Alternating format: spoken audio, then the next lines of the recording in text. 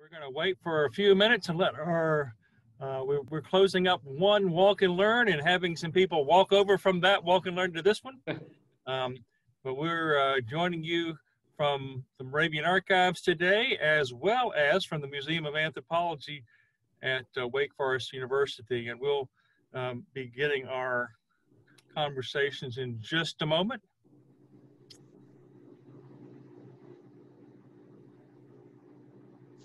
We are, I don't know how many of you have, have, have seen other uh, aspects of our conference. We've had a really full and interesting program with some really talented people uh, contributing their skills. Andrew Minkins last night did a fabulous job weaving together lots of details. Uh, Sally Gant just now going through the fabulous collections at MESDA. Uh, had a wonderful uh, academic session, which you'll hear about on Saturday. Uh, started today going over some papers. A great introduction yesterday. More good things coming in this conference in the next day or two. Um, but my name is Eric Elliott. I am the archivist here at Moravian Archives and wanted to uh, pass the baton around and let uh, the two co-conveners from Wake Forest University for this event introduce themselves now at this time.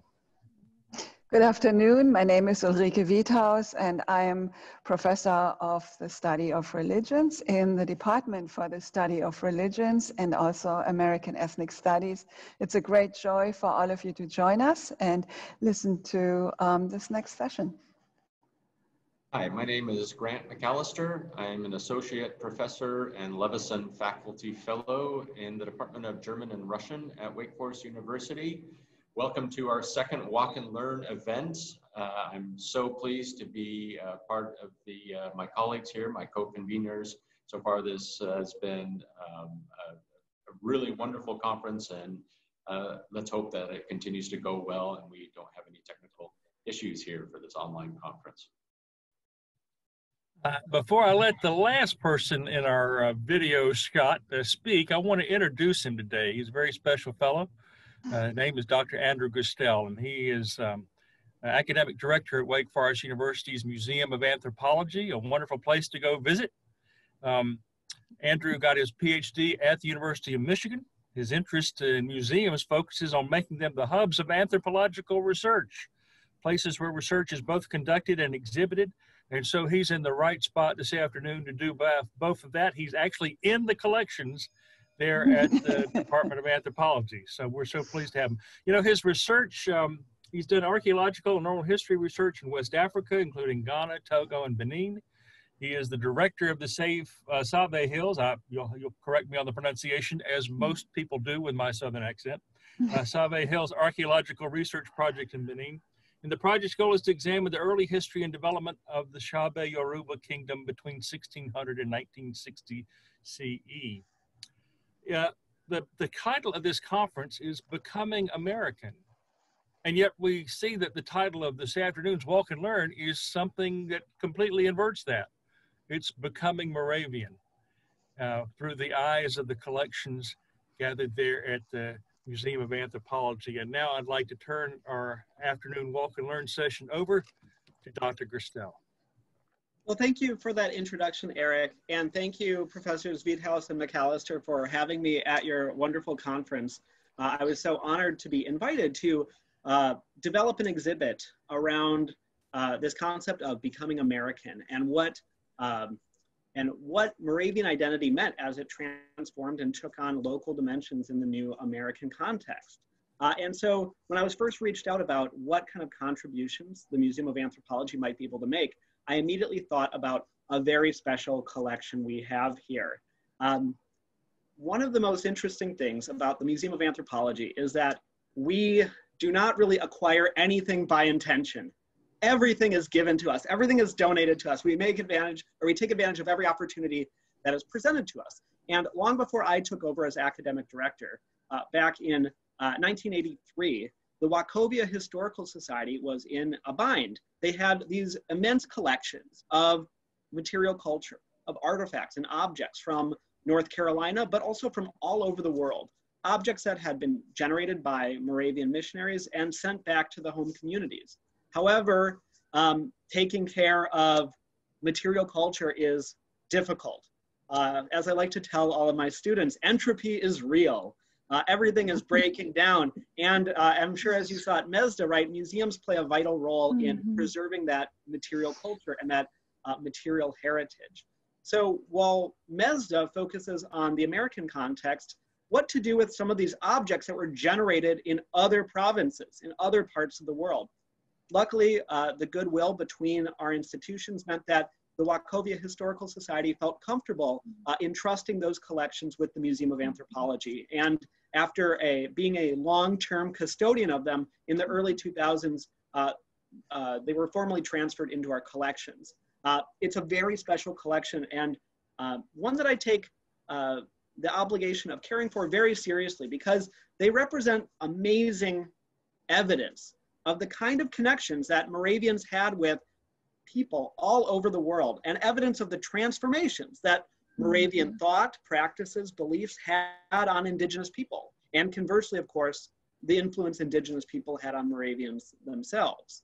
So um, when I was invited to create an exhibit, initially I was very excited because this was going to be my first time working with Eric to develop an exhibit for the Moravian archives, like a, a, a loan exhibit that the Museum of Anthropology could have there. Unfortunately, that didn't pan out quite so quite so well. I'm sure we'll do it again someday. Instead, we moved the exhibit to a virtual representation. I'm going to share the link to that in our chat box right now. Uh, and so if you wish, you may, uh, you know, if any, if at any point I'm a little too boring, feel free to click over there and just start reviewing uh, the museum exhibit on your own.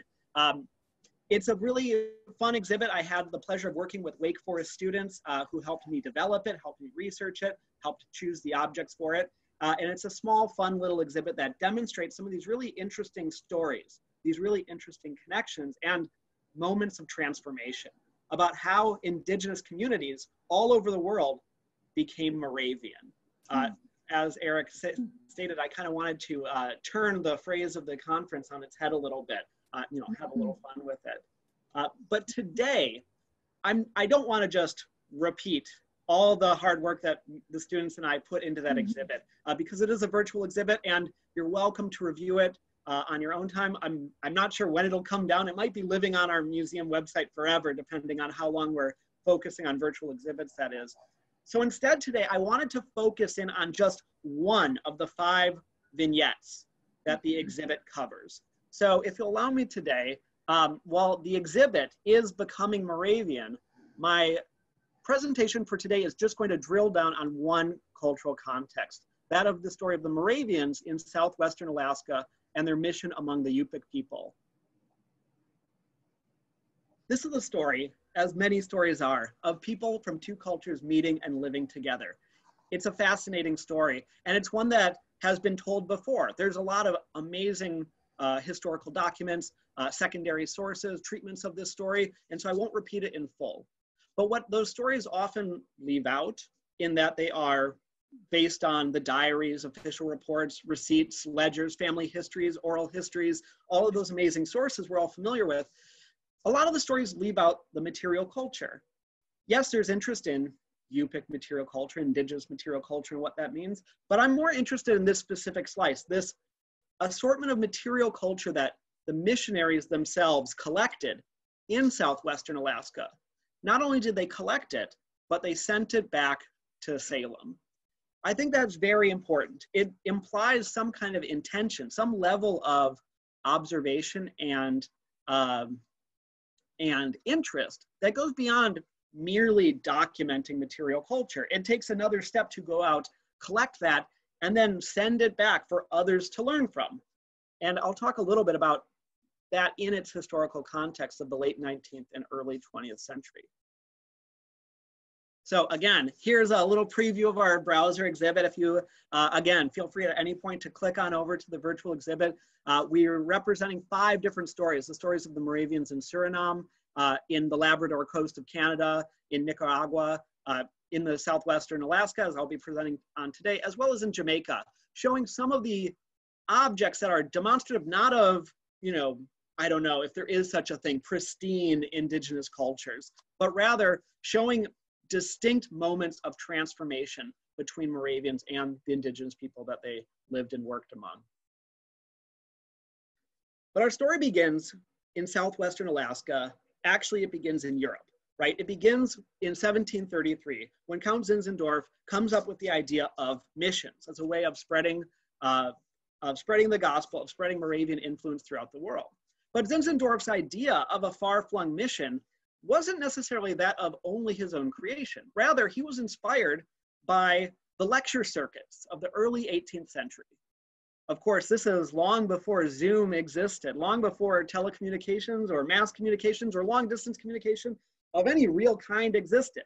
And so one of the most popular ways of spreading information about the other parts of the world that people did not have access to were, of course, traveling lecturers, people who had been there, who had seen the sites, experienced the lands, and then came to tell their story about it. Two of the most influential for this story are two Inuit men by the name of Pok and Kiporok. Uh, around 17 in the 1720s, they traveled throughout Europe, lecturing in courts and castles and city centers all over uh, all over Europe, talking about their experiences uh, in Greenland and other Arctic places. Uh, and it fascinated the Europeans who heard it. And indeed, Count Zinzendorf heard them speak and became interested in what they were doing. He became very interested specifically then in sending Moravian missionaries into the Arctic to proselytize among Arctic people. This was an area that was well beyond the scope of European knowledge in the early 18th century, although having been explored by, uh, by Scandinavians and by other Europeans, it was still an area that was sparsely settled by them uh, and represented really one of these uh, far-flung corners of the world that Moravian knowledge was fairly limited on. Yet nonetheless, the idea of sending a mission there stuck. At the same time, uh, in 1771, uh, the first uh, uh, Labrador mission really got off the ground. And you'll see some of the artifacts in our exhibit that came from Labrador and made their way to Salem eventually. Uh, and in the course of living amongst Inuit people, uh, and on the Labradorian coast, uh, this idea of the Eskimo culture came into being. This was really one of the first um, kind of ethnographic or anthropological documentations of Arctic peoples. Uh, missionaries were, in a sense, the first ethnographers to go in and try to understand from an indigenous point of view as well as from their own uh, European point of view what life was like for people living in the Arctic. And although there were many uh, problems, very many stereotypes, right, especially with the name Eskimo itself, the idea of Arctic peoples derived from their observations. We're gonna smash cut to almost 100 years later in our story here. I apologize for that. When I deal with objects and not uh, documentary sources, there's a lot more gaps sometimes. But we're gonna smash cut to 1867 and William Seward's purchase of Alaska from Russians. Uh, as you can see here, it was ridiculed at the time, uh, trading uh, American technology and treasure for land in the Arctic seemed like a fool's bargain and depicted here as such. Uh, but it sets the stage for the Moravian mission in southwestern Alaska because now, following 1867, the United States uh, has claim, in their eyes, legally owns this territory of Alaska, having purchased it from the Russians. And as such, they need to start administrating it. But there's a problem. 1867, the Civil War is taking its toll, Reconstruction's around the corner, and there's really no appetite for American imperial expansion yet at this point. That would not come until later in the 19th century. Uh, and so, what to do with this territory that America owns, but has very little to do with? Um, the answer, rather than send out the American military, rather than send out American uh, or federal institutions or federal agents to go and try to colonize this directly, there's a new plan. And it's the plan of this man, Sheldon Jackson, uh, the, one of the administrators for the new Alaskan territory. Outside of the still very small kind of coastal cities that Americans occupied, much of Alaska remained uh, out of reach of Americans.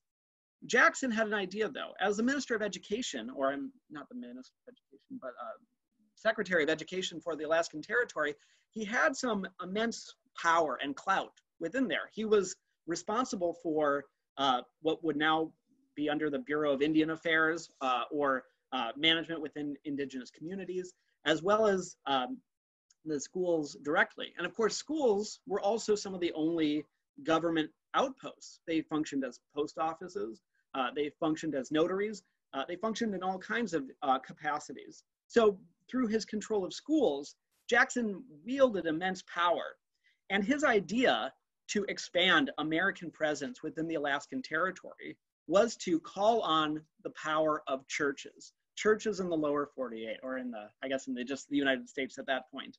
Um, he was very interested in feeling how he could essentially outsource some of this colonial labor into church organizations. And indeed, there's even evidence that Jackson came to Salem to pitch this to Moravian communities.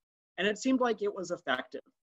Because in 1885, uh, a missionary couple, as well as others uh, who did not stay in Alaska quite as long, but John and Edith Kilbuck, pictured here with their daughter Katie Kilbuck in 1897, uh, went to Alaska and they founded the town of Bethel, which is today the largest city in southwestern Alaska. Uh, has about 3,000 people in it. So that gives you a sense of what the population density is like out there. But this is an immense territory. And they had a very difficult job of coming to southwestern Alaska and setting up this missionary effort. They uh, created Bethel near uh, an existing trade outpost and eventually began growing the Moravian congregation there. And they were incredibly successful at it, as I'm sure many of you already know. They were incredibly successful for several reasons, but one of the reasons was that John Kilbuck was himself indigenous. A member of the Lenape tribe, uh, John was also Moravian. He occupied this interesting social category of being simultaneously Moravian and indigenous. Uh, and because of his knowledge of indigenous peoples in the United States, as well as the struggles that they faced and the prejudice and racism they faced, his approach to missionary activities was somewhat different, although not fair, not as different considering the broader scope of Moravian missionary activities. Uh, he immediately set about learning the Yupik language. He dedicated himself to conversing uh, fluently in Yupik. He translated church texts into the Yupik language. Uh, and he really respected, in a sense, more so than maybe other peers of his time, he respected the cultural practices. He understood the motivations and reasons for Yupik spirituality, for Yupik beliefs, even if he didn't necessarily agree with them. So here we have a sense of Alaska. It is an immense, an immense state. Uh, and Bethel is right there on the Kuskokwim River as it empties out into the delta. Uh, as you can see, this delineation of territory represents the extent of traditional Yupik settlements and the Yupik villages within this territory. Bethel, smack dab in the middle, represented a central hub from which to engage in these missionary activities. So what did the Kilbucks want? Well, they wanted to establish a successful mission. John and Edith Kilbuck were uh, lived in Alaska for almost 40 years uh, before John died there. Um, and while they were there, they really earnestly wanted to set about a productive community and improve the lives of the people they were living with. What did they give them? Well, they brought in much of the trappings of missionary activity, education, infrastructure, government support, all of these uh, valuable commodities that the Marie or that the Yupik appreciated. But what did they take? And that's where our story intersects with the Museum of Anthropology and why I'm in this big museum warehouse right now. Uh, they took with them all kinds of things. Over those 40 years, they sent back hundreds of objects to the United States, hundreds of objects to Salem specifically. They sent objects of daily life, which I'll show now. So I know I'm sharing my screen, but I have a feeling that most of you can also see my talking head box as well. If you can, I encourage you to expand that talking head box as big as you can because I have the objects right here with me and I'm going to very, in a very high tech fashion, hold them up to my camera so that you can get a glimpse of them. Some of these objects are in, uh, have better photos of them taken and are in the virtual exhibit, but some of these are not. Eric, comment. Yes, I was going to say at the upper right corner, you'll see a, a, a choice within Zoom to swap the screens. And oh, you'll put the, uh, the upper right corner, you swap the, the share screen for your video, and that's how you get your head big. Swap screen. Okay. Upper I right am, corner. I am. swap I'm, shared screen with video, and that's how we get to you. If you say so. Yes. I can pause share. Do you think that would do it? Uh, you don't need to do anything. I'm just telling our guests if they want to see you rather than oh, than. that's for the guests. I yes. Okay, I thought it was. Yes, we want to keep you just like you are. You're perfect. Okay, great. So all of these objects were personally collected by the Kilbucks and sent to home community members in Salem. They were sent for many reasons. Sometimes this is still the age of traveling lecture circuits. Uh, the Kilbucks would come to Salem frequently and talk about their experiences in the Arctic, and they would bring back objects with them. They would also uh, sell these objects, quote unquote, or they wouldn't quite sell them, it wasn't so crass as that, but they would give them as gifts, often exchanged for donations to keep the missionary activities afloat. Can't expand screen. I'm sorry, Carolyn, I wish I could um, help you with that, but um, I'm gonna soldier on regardless. Objects of daily life like this, they tended to privilege objects that were of immense interest to the people, uh, to the Kilbucks themselves or to the people back in Salem. This is a pretty typical bent wood container. Uh, it is uh, simply a container for everyday use. It doesn't have any special significance, but it does represent pretty quite clearly Yupik aesthetics uh, in creating everyday life. As you can see, it is painted with red dye uh, and then there's also black dye has been coming and painted on small depictions of animals like seals and caribou. You can also see, especially clearly on this view, why it's called bent wood. This is a kind of uh, uh, wood, as you might imagine, in the in the uh, swampy tundra of southwestern Alaska, is a scarce commodity, uh, and every bit counts. So this is a thin uh, plank of wood that has been treated, soaked in salt water, until it is pliable. It was then bent into shape, thus the name bent wood, and sewn together with additional strips of wood here, and then left to dry until it was in a hardened form. This kind of technology, this kind of ingenuity fascinated the Kilbucks, and they wanted to share this kind of technological sophistication with home communities back in Salem. Again, unlike some of their peers, the Kilbucks were very interested in portraying the Yupik people very sympathetically, showing them not as as other tropes of the time period might have them, not as savages or people in need of saving uh, in terms of their physical well-being or their communal well-being, but rather sophisticated and well adjusted to their social environmental context. Other objects of everyday life, this enormous ser serving spoon also carved out of wood, showing the sophistication and skill. And again, the attention poured into objects of everyday life again painted with geometric designs. They also brought in objects that uh, were other aspects of everyday life that maybe weren't as savory. Uh, this is a tobacco container. It's a, uh, a quid box. So it would be used for small uh, quids of chewing tobacco. Uh, chewing tobacco in the Arctic was obviously traded in. Uh, no one grew tobacco in the Arctic. but when they acquired it, uh, Yupik people would often mix it with a kind of uh, lichen as well as minerals to produce a, um, um, a semi-psychoactive uh, effect alongside the tobacco when chewed at, at length. And this quid box is in the shape of a, a seal as well. The Moravians were also quite interested in hunting technologies. Oh, what time frame is this bentwood box? How is it used? Uh, so all of these objects were collected by the Kilbucks between 1885 and 1922, 1925-ish. Um, in terms of how long that material culture, it probably extends back at least 400 years or so, and an archaeological excavation ongoing at a site called Quinhagak in the south southern area uh, of the Yupik territory. Uh, archaeological excavations there have actually, because of the amazing preservation conditions there, have found wooden objects preserved that are at least 400 years old. Often wood is very difficult to preserve anywhere, so we know it goes at, uh, back at least that far. Um, most wooden containers have been displaced by plastic and metal containers today, but these are retained and the knowledge of creating them is still retained as a kind of heritage craft. Uh, wonderful question. Uh, thank you uh, Brooke for asking. Uh, you want me to turn off the slide? Okay, I'll do that. I wasn't, I didn't want to keep turning it off and on, but you know what? That'll be just fine. Let me give you a better look again at that bent wood box.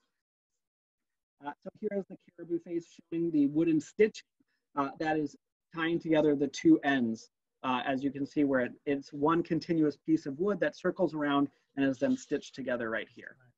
I just wanted to remind, folks who are watching, some that are having trouble expanding the screen. If you have this not in full screen mode, that's when you see the option to get out of it. If it's in full screen mode, you won't necessarily have that option. I'll just keep going back, tacking back and forth between the share screen mode and not. I think that might just be easier for everyone. Uh, and here again is that uh, that little quid box in the shape of this, uh, I think very adorable little seal. Some of my students disagree on it. Other objects that the Moravians uh, collected, uh, there was a, a preference for hunting technologies. And I think this goes again with this idea of portraying the Yupik as sophisticated, knowledgeable people who are very well adapted to what most others, especially back in Salem, considered a very inhospitable environment, the Arctic. And so hunting technology is very well represented in the collections that the missionaries sent back. Hunting technology is like this.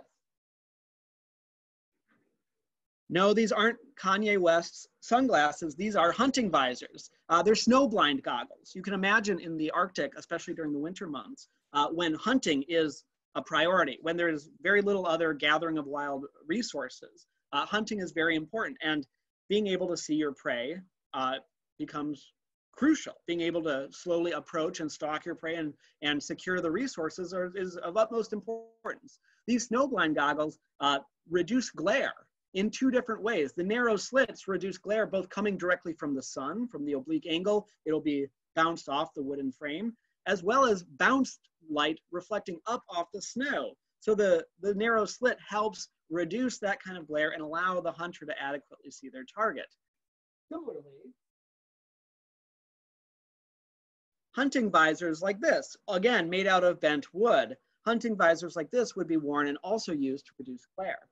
But while these tools were often interpreted as technology, sometimes the social dimension, the cultural meaning invested in these objects was lost. There's very little reference in contemporary sources of the Kilbucks, and the Kilbucks themselves are their contemporaries, uh, talking about the meaning of visors like this. Visors like this were worn exclusively by men. They were not considered sacred necessarily, but they were considered uh, gendered. And they were and and they would often be elaborated. The more successful a hunter was, the more elaborate their visor might become. So while the material culture was often preserved, not entirely was the meaning. The meaning was sometimes lost. Other objects, and these, this is the object the students always gravitate towards, uh, objects like harpoons. Marine hunting is incredibly difficult. Uh, and taking down a large marine mammal is a group effort, especially when you're hunting it with uh, simple technologies without the use of firearms, for example. So harpoons like this demonstrate kind of the, um, the skill that, or that Yupik hunters had. Uh, harpoons like this would be embedded in a marine animal like a seal or a walrus or a whale. Uh, the tip uh, comes off intentionally uh, and is tethered so that uh, rather than trying to kill the animal with a thrust, uh, the harpoon acts as a tether, dragging the animal and tiring it out until the animal can be, uh, can be uh, dispatched up close.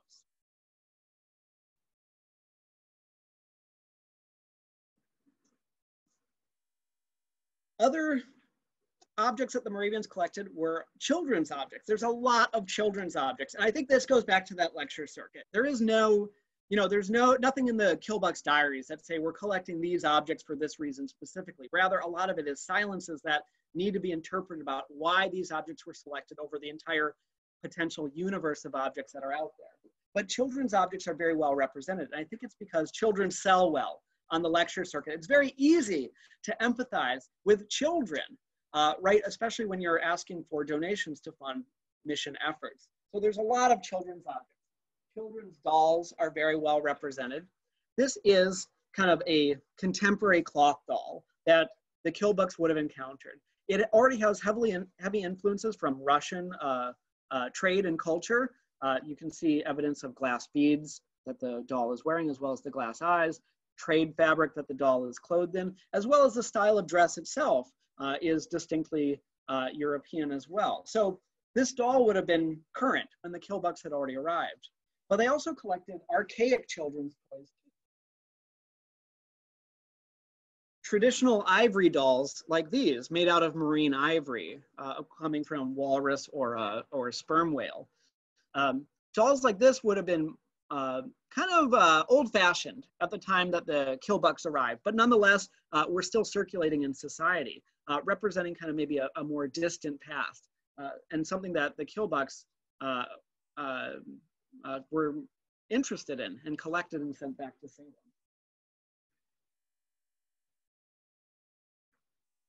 They also collected some enigmatic objects like this, a yarun, this is a, an ivory knife, but it's not sharp at all. It has no real edge to it, but it is kind of uh, knife shaped. Uh, yarun like this are children's toys. And while I already mentioned one gendered object, that hunting visor, this too is also gendered. This is an object used by young girls. It is a storytelling knife. The yarun are used to depict uh, or to create pictures in the ground that uh, accompany kind of traditional stories and games. Uh, it's a, uh, uh, a very elaborate tool. This ivory, uh, this with scrimshaw etching on it, this kind of knife, again, shows the elaboration, the sophistication of material culture invested even in children's toys. While the Moravians collected, oh, before I get onto that point, the final thing that they collected were new crafts. And that's primarily what the virtual exhibit focuses on in every cultural context that it touches on what kind of new material forms resulted as a uh, as a, a, product of Moravian influence within indigenous communities. And there are certainly many cases of that for the Yupik as well. Some of them I feel are quite funny, uh, like this, a letter opener. Uh, I don't know how practical a letter opener is when you don't have a postal service, uh, but it is pretty, it is cute. It's in the shape of a walrus carved out of a walrus tusk. I always find that very macabre. There's so much ivory carving that is in the shape of the animal it came from. That always seems a little, I don't know, I guess macabre, as I said. But nonetheless, this walrus-shaped uh, letter opener, uh, this was probably exclusively made to send out of Yupik communities. And this is really where we see this begin. It doesn't happen earlier in Russian uh, influence in Alaska. But when the Moravians come, there's a new, there's kind of an explosion of new craft forms that are being created, many of which seem to be kind of souvenirs, uh, kind of uh, kind of small trinkets or kind of non-functional objects that nonetheless are symbolic of the place and people that created them and often intended to be used outside of those communities as well. But there's also the silences within this material culture archive, just as there are silences in any archive. Why, what isn't being mentioned? What isn't being saved? And we can think about that with the Moravian missionary collections as well. This is another uh, carved wooden bowl that was in our collection, but it's a very unique and special object. I think it's one that maybe escaped the notice of the Kilbucks. Again, speaking on the visor, I said that sometimes the deeper cultural meaning was lost within a, a rush to talk about functionality of these objects. And I think that might be the case with this object. As you can see, modeled on the object, there's a small human face. It's a effigy bowl. This is a, a small lamp, uh, oil lamp. Uh, but with this human head on it, it takes on a very specific ritual and spiritual significance. It, seems unusual that the Kilbucks would have collected this object and sent it back to home communities, given that it was an example of the paganism that they were there to eradicate. Um, the Kilbucks did not collect any other kind of sacred objects typically and did not send them back. They did not collect idols. They did not collect masks. They didn't collect shamanistic paraphernalia. Uh, for the most part, they stuck to these other kind of ethnographic categories of objects of daily life, of hunting technology, of children's toys, of dress and clothing, of transportation, of small dioramas and models all of those kind of typical ethnographic categories, but they did not collect ritual or spiritual objects. I think that this one made its way through only because they considered it simply an oil lamp and did not consider what the head on the end of it was signifying.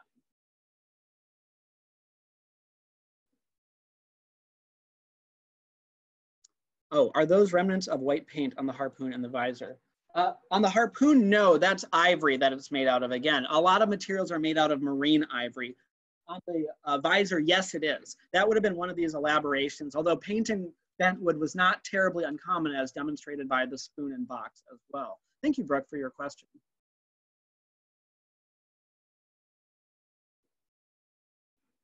All right, I'm gonna go back to sharing my presentation.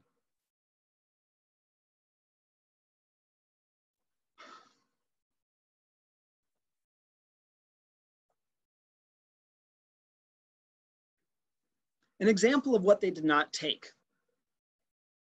Shamanistic masks. Yupik shaman masks are incredible works of art. Don't ask me. I mean, don't ask my opinion for it at least. I mean, ask the almighty dollar. The most expensive piece of Native American quote unquote art that was ever sold at auction was a Yupik mask for two and a half million dollars, uh, not oh, maybe only 10 years ago now. Uh, it was a mask owned by the surrealist painter Donati.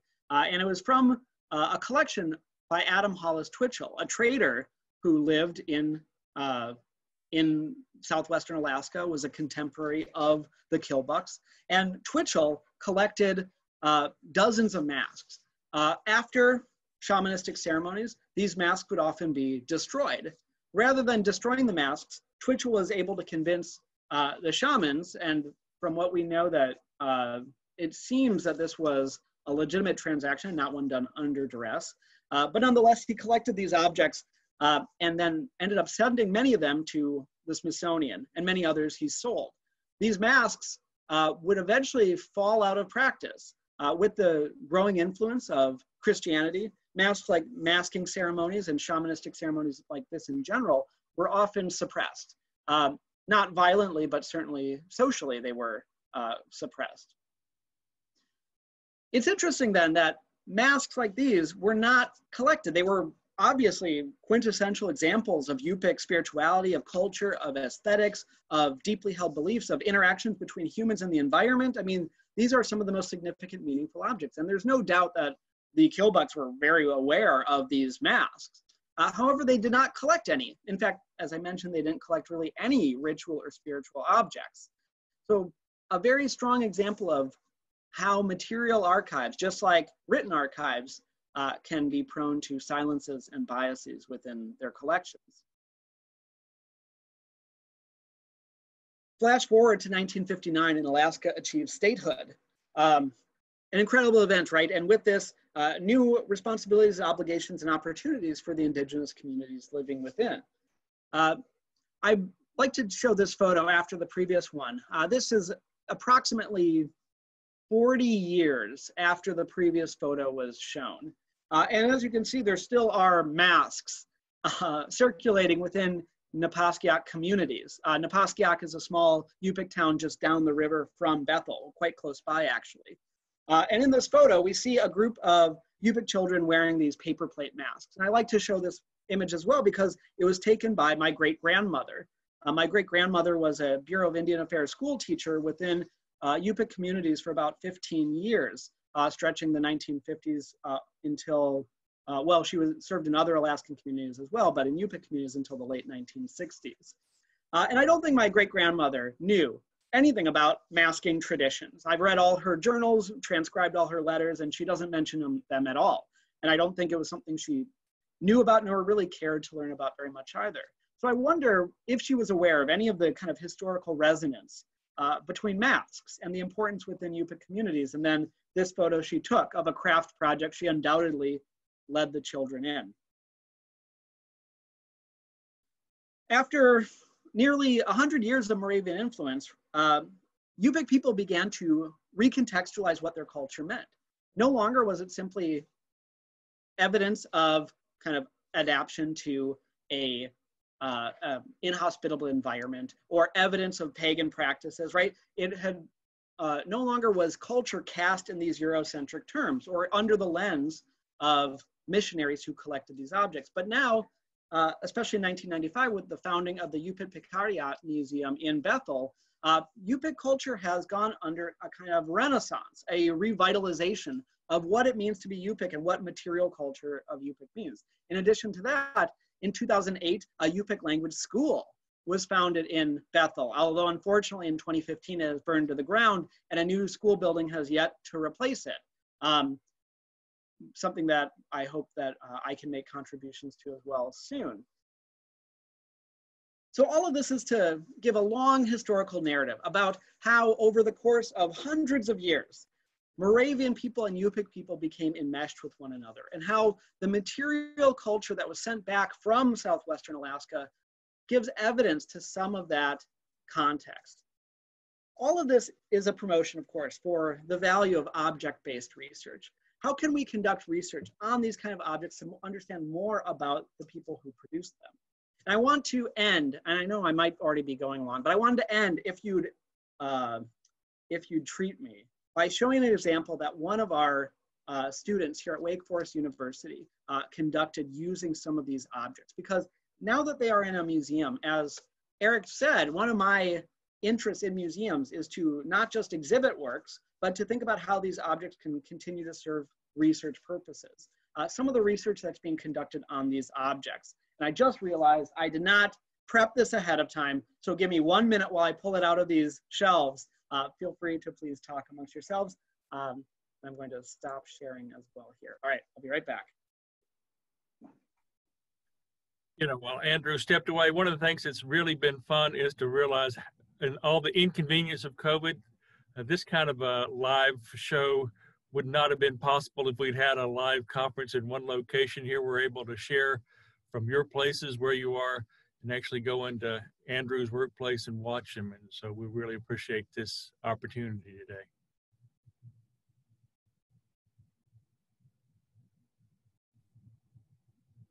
I like his bookshelves, by the way. Except they're not bookshelves for him; they're object shelves. I like yeah, those remote there are no books there. on there. We might have one book on you, there. You and Paul have the compact shelving. That'll be on my to-do list one day. Yeah, they're, it's great. Uh, let me just see. Okay, while we wait for um, for Andrew to um, get back, I, I just saw a really interesting e um, Q&A from Riddick, uh, one of our conference presenters.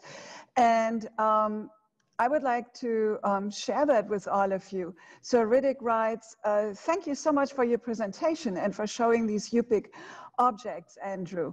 A comment on cultural and environmental influences on the Moravians and on children's subjects. My great grandparents, Ernst and Carrie Weber, were the second missionary couple in Bethel. My grandfather, Christian Otto Weber, was born in Bethel in 1892 we have photos of the family while they were in the States on furlough. He and his brothers are young boys dressed in traditional Yupik garb, while their parents are wearing Victorian American clothing. My cousin still owns a kid-sized snowshoe. When he started his studies at the Nazareth Military School, Chris spoke Yupik more fluently than English. So the historical narrative is, is really continuing and it's crossing over in this concert, which I find fascinating. that is a very, uh, very interesting story. Thank you so much, Riddick, for sharing that. Uh, and I hear exactly what you're saying about hearing from great grandparents about their experiences in Yupik communities, because that was something that I very much appreciated too. My great grandmother lived to be 101 years old. Uh, so I had the pleasure of knowing her for a very long time and hearing a lot of her stories there. Although, of course, uh, I had no idea that eventually I would be managing uh, collections of Yupik materials uh, as part of my professional work. Um, so the object that I wanted to share then are these Yupik uh, caribou belts. And again, this is maybe the most enigmatic object. And there's actually three of them in our collection here that were sent back. These were personally collected by the Kilbucks. And I don't believe that they uh, gave these out as gifts. I believe that these were retained by the family itself until donated to the Wachovia Historical Society. It uh, blows apart my entire theory that the or that the Kilbucks didn't collect any ritual objects because these three are certainly um, relate to a kind of spirituality that would be very much at odds with Moravian beliefs and practices. Uh, yet here they are. Perhaps maybe they were just so unique, so special that uh, the Kilbucks decided to include them in their collections either, or perhaps As all research, I just need to find more examples of the kind of things they encountered in other collections to put together a more complete picture uh, of what there is.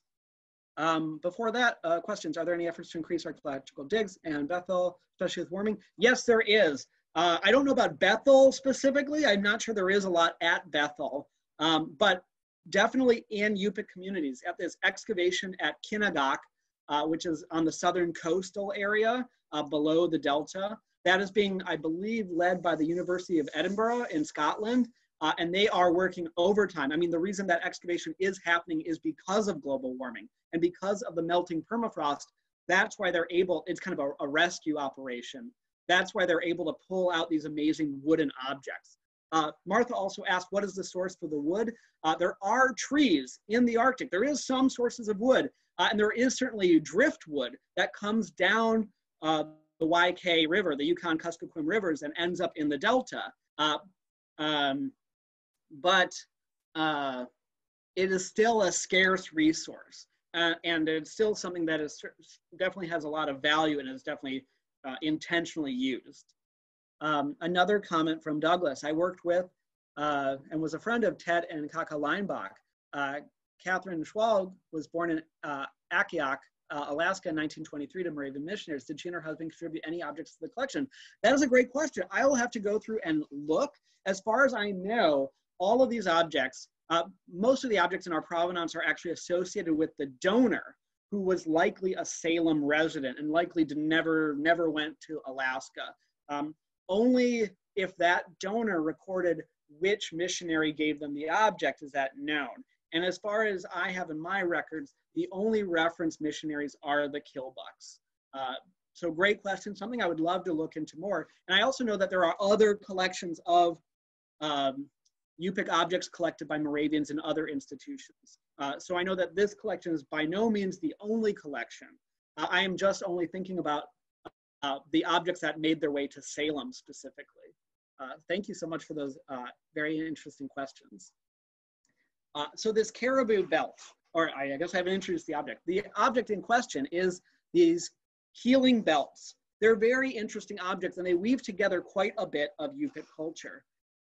They're long uh, moose hide belts uh, that have been stitched all along with what looks like beads. You can see that there are blue beads, but as I bring it closer, you'll notice that the white beads, um, the white beads have kind of an interesting look to them. Uh, they're not quite what you might expect. These are rows and rows of caribou teeth, specifically the front incisor palate of caribou.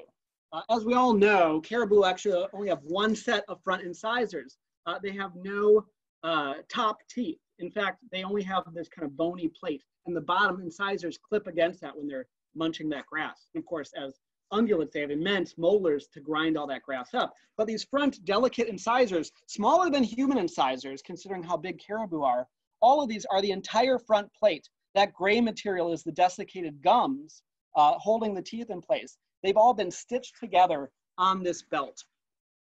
There are 202 caribou palates stitched to this belt, representing 202 distinct animals. Every single one of those animals was hunted by a single person. This belt represents the hunting prowess of a family, of a nuclear family, of a, of a, a male hunter, uh, a female wife, and their children. And it has a very interesting significance in that while all of the caribou incisors are supplied by the male hunter. The belt itself is made and worn by women. Women would use these belts in a sense, and I'm going to do a terrible justice to the metaphysics of traditional Yupik spirituality, so I apologize on that behalf.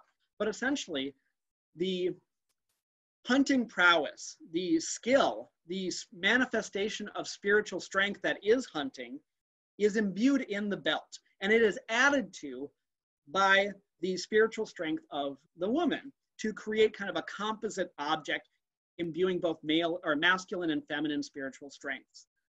By virtue of the women wearing these belts, they imbue them with more and more energy. And when someone falls sick, is gets ill, these belts are draped over the person so that the energy then flows the other way, out of the belt and into the sick person to heal them. Uh, it's an amazing object, very interesting, and again, loaded with symbolism about hunting, gender roles, illness, uh, spirituality, all kinds of amazing object or amazing ideas loaded into one object. Um, all right, more comments. Were there more forests in the north? Um, in some parts of Alaska, yes, there are definitely lots of forests in Alaska. In the southwestern delta, it is a very swampy and kind of tundra-like environment. Um, there is not a lot of tree cover, um, and it differs pretty significantly with the boreal forests that are characterize other parts of Alaska. Um, Andrew, you see the question about if there are any archaeological digs that you know of in the Bethel area about just, indigenous just, uh, subculture? Uh, just the site of Quinhagak, uh, which I mentioned before, uh, which is the excavation led by the University of Edinburgh. Uh, I don't know of any other ongoing uh, excavations. There are some on like on some of the Aleutian Islands a little bit farther away, but not within that YK Delta area specifically. Uh, the teeth look too tiny for a mature animal. I agree. They are the tiniest incisors. Uh, uh, but these are these are from mature caribou. Uh, they they definitely are. Uh, and I'll talk a little bit about how we can uh, what we can do with that, knowing that they are from mature animals, and what my students research did. Is it likely the Kilbucks did not know that these were spiritual objects? I would say unlikely. John spoke fluent Yupik. Uh, Edith spoke Yupik as well. I would find it very unlikely that over the course of 30 to 40 years living amongst Yupik people, they would not know uh, not know what these belts, which are very visible, I mean, very distinctive, what they would be used for. Maybe something like a small oil lamp that has a small effigy head attached to it, that might slip through the cracks, as I hypothesized. But a belt like this, where it has one very specific significance and use, would seem pretty unlikely for someone as knowledgeable of Yupik culture as the Kilbucks? Uh, great question, though. I am going to share my screen one more time uh, to finish this up. Um, all right, everyone can share this. I hope you can see this again. Could I get a thumbs up from uh, my panelists just to confirm that I'm sharing this accurately? Okay, You're thank good. you. Thanks.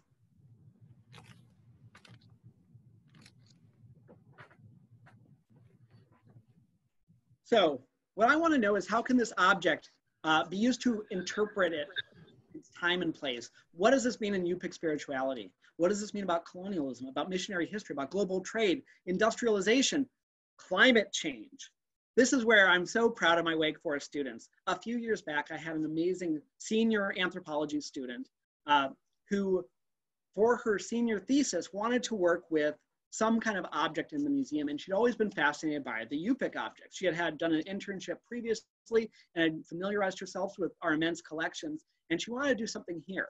I encouraged her to think about how objects can tell more than kind of cultural stereotypes. How can they be used for more than just like this belt is or this belt is typically used in spiritual ceremonies. The exact kind of stereotype I just told you.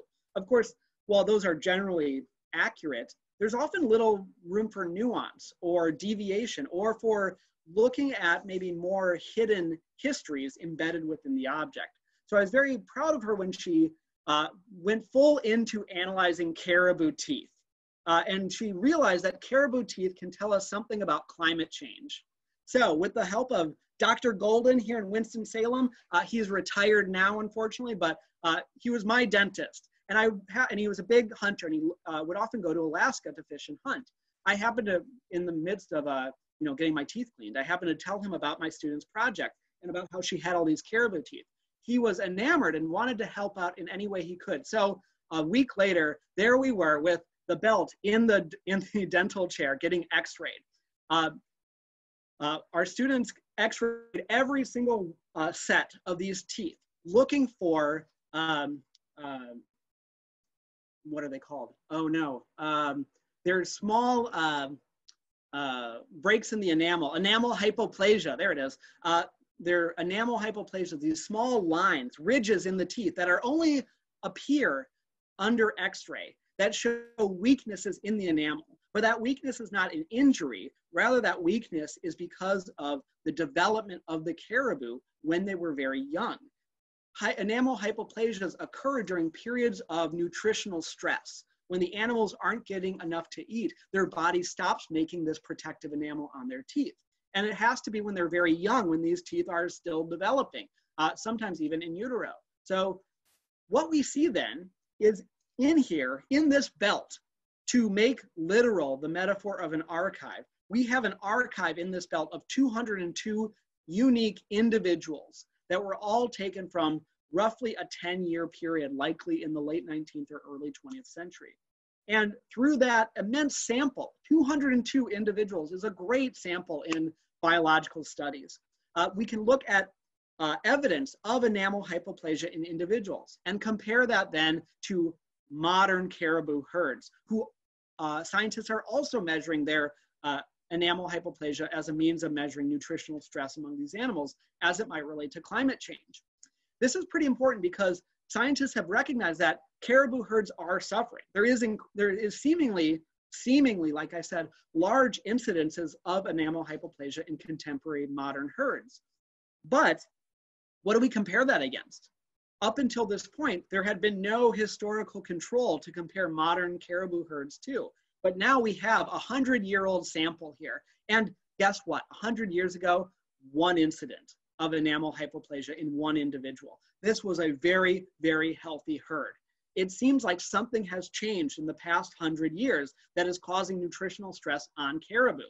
And it's important to label it as climate change because climate change deniers in Alaska have stated that maybe caribou herd health is not related to climate change. Maybe it's related to overhunting by indigenous people. That's actually been put forward as a reason for caribou herd uh, destruction is mismanagement by indigenous people. But here we have evidence of amazing hunting prowess. One individual taking 200 caribou and not even over the course of their life. This would have been maybe over the span of like five to 10 years.